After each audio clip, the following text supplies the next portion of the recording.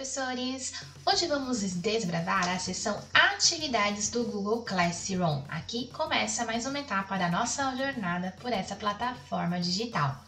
Esta seção é dividida em subseções: atividade, atividade com teste, pergunta, material e reutilizar postagem, além de tópico, quando criaremos as sessões referentes aos assuntos que vamos disponibilizar aos nossos alunos. Vamos conhecer um por um, separadamente. Começaremos com a primeira atividade. Lá vamos nós! De volta ao nosso Google Classroom, aqui estamos nós em uma sala que estou usando como exemplo para as nossas orientações. Anteriormente, falamos da seção mural, um espaço usado para as postagens referentes a informativos, convites e interações com o seu aluno. Por aqui, ele pode responder aos seus posts, como também pode fazer os posts próprios, conforme a configuração que você deixou no seu Google Classroom referente à sua salinha. Uma dica com relação a atividades.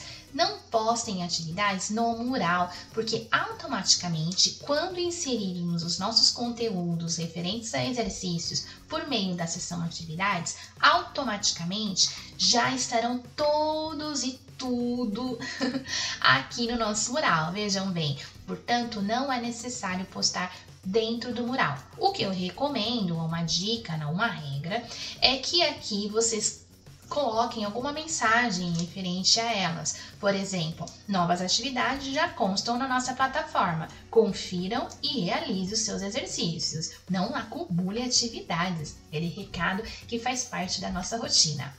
Indo agora para a seção atividades, o nosso foco de hoje, aqui estão distribuídas todas as atividades diárias e semanais. Uma dica é dividi-las por sessões. Sessões essas por semana ou por disciplinas. Como é uma sala que atualmente está sendo dividida por vários professores de diferentes áreas, recomendo a divisão por áreas ou por semana. Fica a critério de vocês, mas acredito que por área seja mais dinâmica para o nosso pai e o nosso aluno que está acompanhando as atividades pela plataforma digital.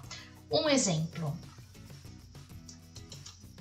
Por área, você pode dividir por especialistas ou e também pelo professor titular da sala, que nós chamamos de polivalente. Então você pode colocar artes e todo o conteúdo dentro da seção artes realizado ao longo do ano. Uma dica é a sessão e o conteúdo ao longo do ano. Automaticamente, dentro da artes, de acordo com as datas, eles já virão nessa sessão.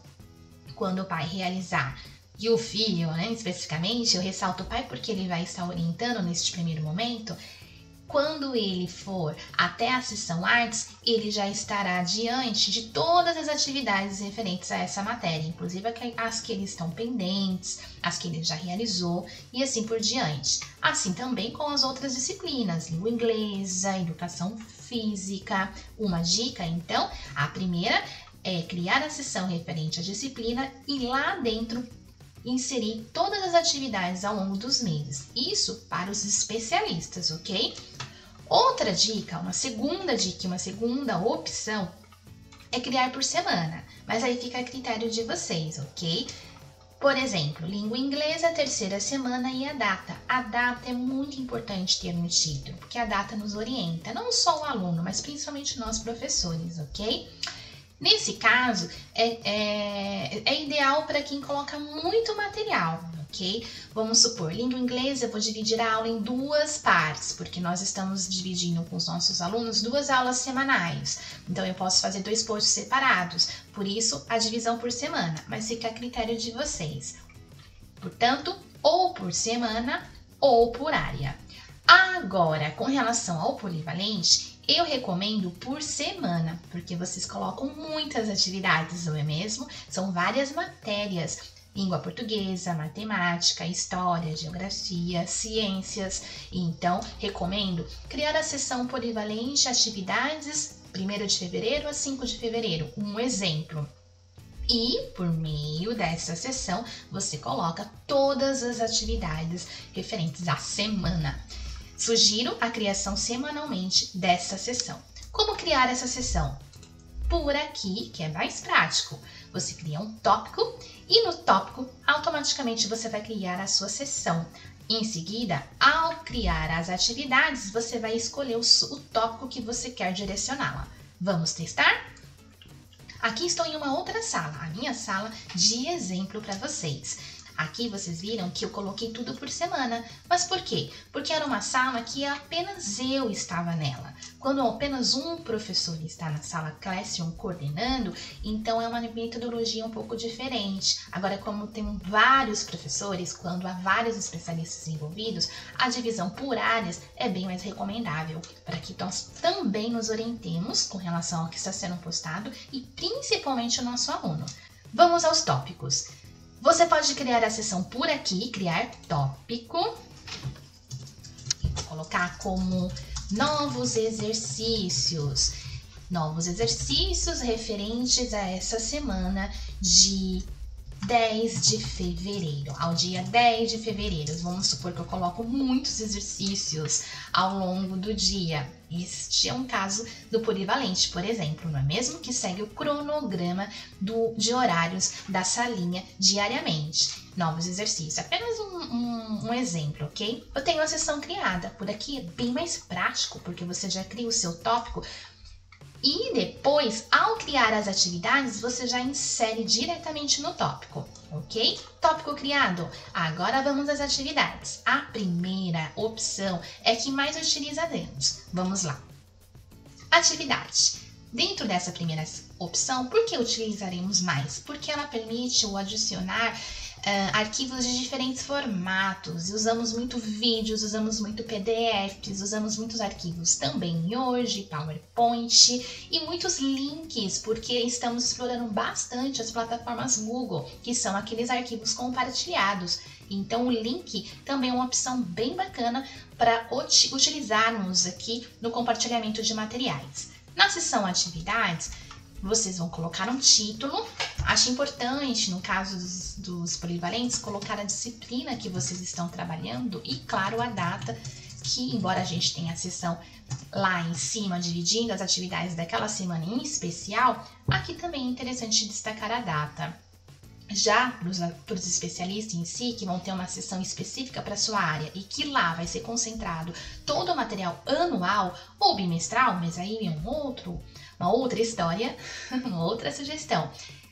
Aí, mais do que tudo, é necessário colocar a data, ou a semana, o nome da, da aula, ou o nome da semana correspondente, ok? Por exemplo, língua inglesa, vamos nos conhecer. Um exemplo o título que eu digo, além da disciplina e da data, é interessante um, um, um assunto para o aluno saber o que será visto em língua inglesa, o que será visto em história, o que será visto em geografia, apenas para norteá-lo. Apenas, são apenas orientações, ok? Lembrando que quando a gente explora uma plataforma, quando a gente explora qualquer é, tecnologia em si, seja ela digital ou não, não é mesmo?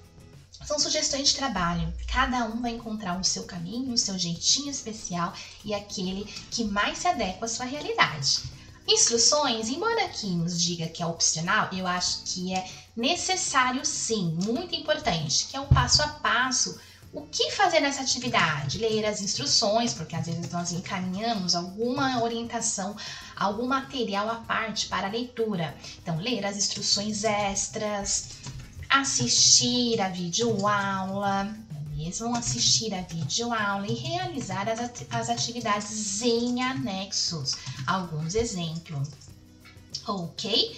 E assim por diante. Agora vamos ao anexo das nossas atividades. Aqui são as orientações, o passo a passo. Quando eu vou adicionar, existem vários formatos. O primeiro é o Google Drive. Vamos usar muito o nosso Drive. Então, por aqui eu tenho acesso a todas as minhas pastas e automaticamente a todos os conteúdos que eu tenho é, realizado ao longo do meu trabalho. Aqui eu vou acessar o arquivo especificamente que eu quero anexar para aquela aula que eu estou compartilhando com os meus alunos, ok? Outra opção é o link, muito usado também porque estamos explorando as plataformas Google. Quando digo plataformas, são os arquivos compartilhados do pacote Office, como o Word, o PowerPoint. Agora a gente tem, tem usado bastante o Jamboard também, uh, entre outros. O link é aquele link que você gera nesses arquivos compartilhados, não só do Google em si, às vezes o link de um vídeo que não é necessariamente do YouTube, o vídeo, ou um link de um de um arquivo de fotos. Hoje a gente tem algumas plataformas para armazenamento de imagem, de fotos, e a gente compartilha essas, essas fotos por meio de link. Então é um exemplo aqui também. O link de um drive, enfim, o link de um arquivo que vai fazer parte da sua aula para complementar esse conteúdo. Outro exemplo, outra forma de anexar o arquivo, aqui usaremos muito. Por meio do arquivo, você também vai ter acesso a arquivos que estão dentro, dentro da sua pasta dentro do seu computador, ok? Ou do seu celular. São arquivos diversos. Aqui pode ser um arquivo em PDF, uh, ah, em Word, em Excel e em PowerPoint. São arquivos que você fez paralelamente à sua sala do Google Classroom, ok? Esse arquivo também vale para as videoaulas que o professor grava e que não disponibiliza no YouTube, não é mesmo? Porque há muitos professores que fazem as suas videoaulas, gravam em MP4 e deixa armazenado nos seus arquivos pessoais. Então, esse é o caminho para você anexar o seu vídeo que está anexado nos seus documentos pessoais e não na rede. Ele aceita também. E o mais usado, porque a gente tem se apropriado bastante do YouTube, não é mesmo? É o YouTube. Há dois formatos. Você pode se procurar o assunto por aqui. Eu quero, eu quero uma música sobre apresentações, por exemplo. Então eu já faço a minha pesquisa já por aqui. Lembrando que eu estou dando exemplo de língua inglesa por atuar com língua inglesa. então aqui eu já busco as minhas opções e escolho aquela que eu, devo, que eu gostaria de inserir. Outra dica é colocar diretamente o link ok? O link pode ser por aqui, como também por aqui. Ele vai aceitar das duas formas. Eu quero colocar um link de um vídeo do YouTube que eu estou pesquisando numa outra janela e não por aqui, que às vezes por aqui, se você colocar a pesquisa e vem uma série de opções, você às vezes não consegue é, abrir um por um para para até consegue, mas às vezes é, é um pouco trabalhoso abrir um por um aqui para é, escolher a sua opção. É, é possível. Mas quando você sai numa janela à parte, geralmente ao longo do seu planejamento, você já faz alguma, algumas pesquisas pelo YouTube, lá você vai ter o seu link. Um exemplo para quem disponibiliza suas videoaulas no YouTube é aqui que você vai colar o seu link referente ao vídeo que você produziu. Por exemplo, aqui eu estou no canal onde eu disponibilizo as minhas videoaulas, eu simplesmente copio o link correspondente à minha videoaula e adiciono. Ele já vem e eu vou adicionar aqui para fazer parte da aula de hoje, ok? Uma dica. Todos os vídeos, mesmo que eles não estejam publicados no nosso YouTube, muitos de nós não publicamos, não deixamos a mostra para todas as pessoas que entrarem no nosso canal assistir as nossas videoaulas. Muitos deixam no modo privado, no modo não listado, quando não é público. Ainda assim, eles estão disponíveis, eles aparecem aqui pra gente, ok? E a gente consegue inserir dentro da nossa aula. Adicionou? Ok. Quando eu coloco um arquivo, geralmente é um arquivo com as orientações do passo a passo. Tem pessoas que fazem um extra, né? Numa atividade, um passo a passo extra. E a mesma coisa na inserção dos documentos. É um arquivo à parte. Agora, se você quer criar um arquivo diretamente no Google Classroom, que ele te traz essa possibilidade, você pode explorar todos os instrumentos necessários. Se for um formulário, que é uma pesquisa, um desenho, se o aluno quiser fazer um desenho, muitos exploram muito o Paint hoje em dia, não é mesmo? Então, para eles vai ser muito fácil explorar essa, essa ferramenta desenhos. Eles vão gostar bastante, principalmente os menores. As planilhas, eu acredito que é mais para os maiores, não é mesmo? Que os professores exploram, mas é aquilo que eu falo, cada um tem uma realidade né? e uma área de atuação. As apresentações, que são as apresentações em PowerPoint, e os documentos. Usaremos muitos documentos quando a gente quer criar uma pergunta, é, uma atividade em si que o aluno pode responder diretamente no seu documento, que é este caso. O que você espera das aulas de língua inglesa? Um exemplo.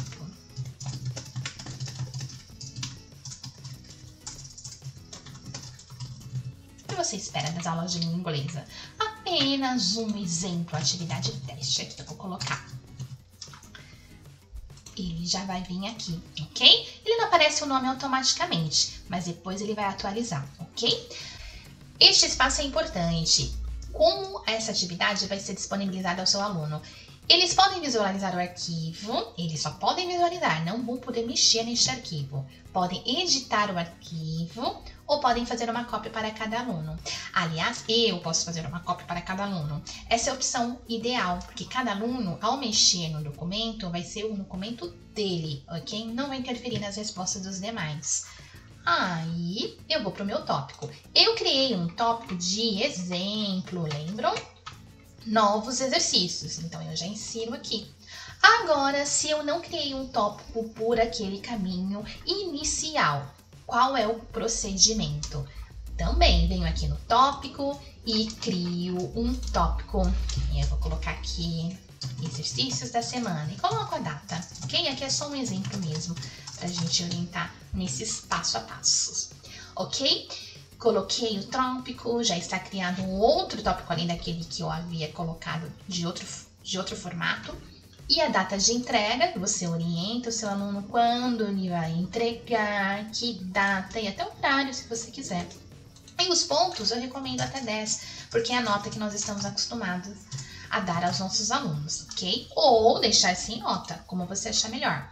Com relação aos alunos, eu posso direcionar a atividade a todos eles ou eu posso selecionar. Ah, eu só quero que esses dois participem, ok? Feito isso, as notas também já foram distribuídas, no caso sem nota. A data de entrega também, dia 11, vamos supor. Okay? É, rubrica é orientar o aluno o que você vai cobrar nessa atividade o que vai ser cobrado e o que vai valer, quantos pontos vai valer para cada etapa, ok?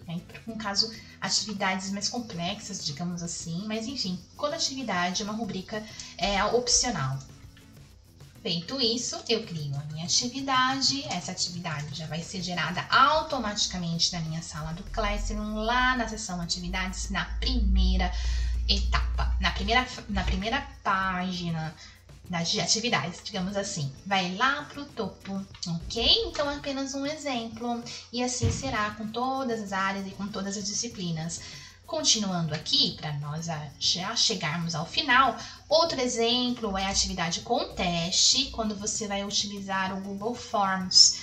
Aqui é recomendável para suas provas, para algum teste, uma avaliação diagnóstica e até mesmo alguma pesquisa, uma pesquisa de satisfação, uma pesquisa sobre o andamento das aulas, sobre as dificuldades da semana e assim por diante. O restante é o mesmo procedimento, um título para orientar o aluno com relação à disciplina, a data de atividade, de postagem e o assunto dentro daquela disciplina. As instruções com passo a passo, como você está usando apenas o Google Forms, ele já vem diretamente aqui na sua área, nem é necessário anexar. A sessão você vai colocar na sessão apropriada e se não for nenhuma das criadas, você vai criar um novo tópico aqui, assim como foi feito com os anteriores. Não esquecer dos pontos, acho importante deixar de 0 a 10 ou sem nota, como você achar melhor. Se for como uma pesquisa, sem nota, mas se for aquela, se for avaliações, vem as notas, a, a nota máxima. Os alunos você vai escolher se são todos ou os que você deseja e assim por diante, ok? Olha que interessante, quando você tem várias salas, né? No caso, são várias salas aqui.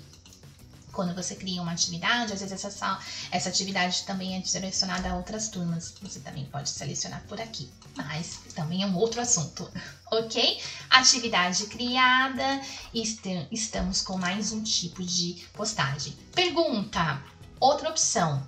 Acho interessante essa opção para criarmos enquetes com os nossos alunos. Uma opção interessante pra, para um final de semana, uma sexta-feira, por exemplo. Das atividades dessa semana, quais você sentiu mais dificuldade? Você gera um termômetro com a sua turma. Será que foi em matemática? Será que foi em língua portuguesa? Será que foi em história? Das atividades da semana, qual assunto mais te impressionou? Qual você mais gostou de aprender? O que mais chamou sua atenção? Enquete é bem interessante. A gente cria a interação que tanto falamos das plataformas Google. Por aqui é um bom caminho para se aproximar dos nossos alunos e conhecer um pouquinho mais. Aqui pode ser sem nota, afinal, uma interação. Apenas um exemplo de usar a pergunta. Às vezes pode ser um quiz da semana, ganha estrelinha, aquele que ganha, aquele que acertar. Uma enquete pode ser usada de inúmeras possibilidades de trabalho. Material. Material apenas material fechado de leitura complementar. É aquilo que o aluno não vai alterar. Ok? Opção material geralmente a gente adiciona em PDF, arquivo PDF, porque é um arquivo que de fato não vai ser alterado. Apenas leitura. De repente a página de um livro, o livro de leitura, a leitura da semana, ok? Pode ter um tópico leitura da semana. Temos todos os dias, nem, não só da semana, mas como do dia. Todos os dias os alunos leem um livro junto com o professor. E aqui é virtual, mas não deixa de ser junto com a gente, afinal nós estamos disponibilizando e orientando e acompanhando. Então é um exemplo. O material, os livros que você direciona, dentre outros materiais em que o aluno apenas terá a, a missão de lê-lo e complementar os seus estudos. Voltando aqui, reutilização de postagem. Eu uso muito isso daqui, nós usamos quando nós temos muitas e muitas turmas e várias postagens a serem feitas. E às vezes uma corresponde à outra, uma ajuda a outra. E então você pode colocar, escolher uma postagem de uma das salas que você já postou.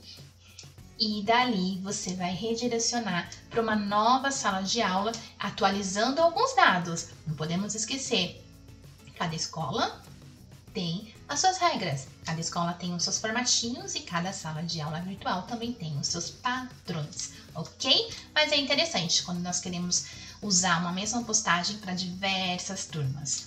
E o tópico, já falamos, é a sessão que você cria a cada semana ou a cada dia. É interessante que você tem os atalhos aqui ao lado. Então, por aqui, você já tem acesso à sessão específica a qual você está querendo ser direcionado. Aqui ao lado, as nomenclaturas com as salas é muito importante, principalmente para quem tem muitas turmas. Aqui é apenas um exemplo de um ano anterior.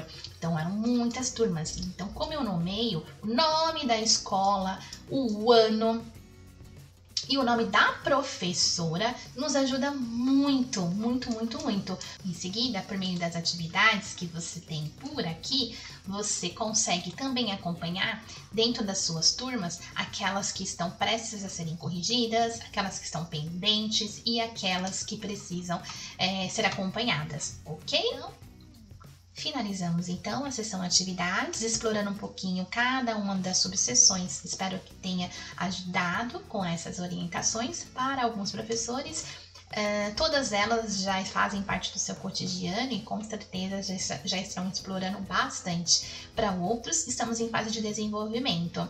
Estou aí com vocês. Juntos vamos explorar e conhecer. A cada dia algo novo aparece. Essas plataformas elas são atualizadas constantemente. Então, conforme for, formos descobrindo, nós vamos dividindo uns com os outros. Até a próxima!